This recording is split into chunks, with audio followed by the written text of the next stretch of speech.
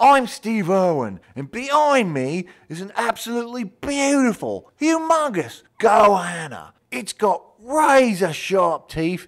It could rip a man to shreds with one bite of its bacteria infected mouth. Let's get a little closer, shall we? I suspect there's something very unusual about this enormous goanna. Come on.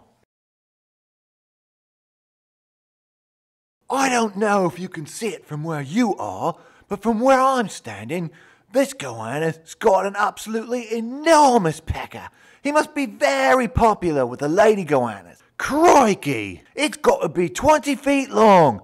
My God, what I'd give to be that huge. Let's see what happens if I jump up and touch it. Right.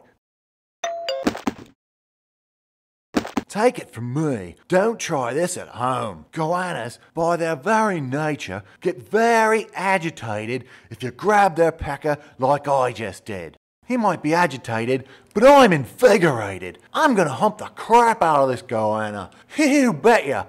Oh, I just love these big goannas. Crikey! This is great. Look at me. I'm humping goanna. Goanna humper. That's me. Right. This is great. Crikey! I'm gonna get satisfaction if I have to hump air all day. Yes! Oh, goannas! Oh, us. yes! Oh, boy! You gotta give these big fellas plenty of room. If a goanna ever feels threatened, it'll defend itself with one swipe of its gigantic tail. I can't feel my legs. I've got no feeling in my legs. Crikey! I can't feel my fucking legs! Right! Oh, oh my god! I don't got any legs! My legs!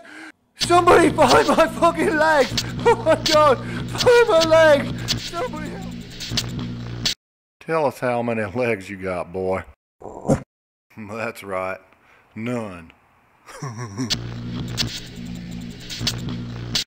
Stay tuned for next week's show, where you'll get to see me interact with a Venezuelan spider monkey. Come on now, you can do it. Show us your pecker. Spider monkey.